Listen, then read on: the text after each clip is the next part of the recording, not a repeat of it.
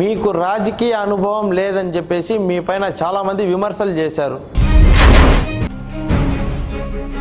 అసలు ఎవరు చెప్పారండి మీకు రాజకీయ అనుభవం లేదని? ఆ? ఎవరు చెప్పారు?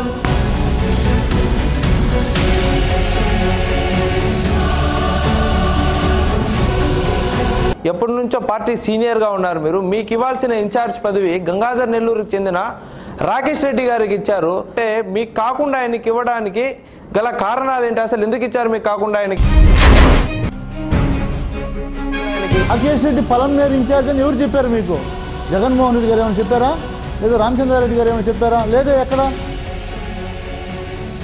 వైఎస్ఆర్ కాంగ్రెస్ పార్టీ నుండి తెలుగుదేశం పార్టీకి వెళ్ళిపోవడంతో పలంనేరు నియోజకవర్గంలోని వైఎస్ఆర్ కాంగ్రెస్ పార్టీ నాయకులు కార్యకర్తలందరూ కూడా ఆయనతో పాటు తెలుగుదేశం పార్టీలోకి వెళ్ళిపోయారు ఇప్పుడు ప్రస్తుతం పలంనేరు నియోజకవర్గంలో వైఎస్ఆర్ కాంగ్రెస్ పార్టీ పూర్తిగా పడిపోయిందని ఆయన పోతే పోయాడు కానీ వెనక ఎవరైతే వచ్చారో ఒక ఇద్దరు ముగ్గురు ఆ ఇద్దరు ముగ్గురు తిరిగి వెళ్ళింటారు. అంతకు తప్పితే పార్టీ మారలేదని మేము గట్టిగా చెప్తున్నాం.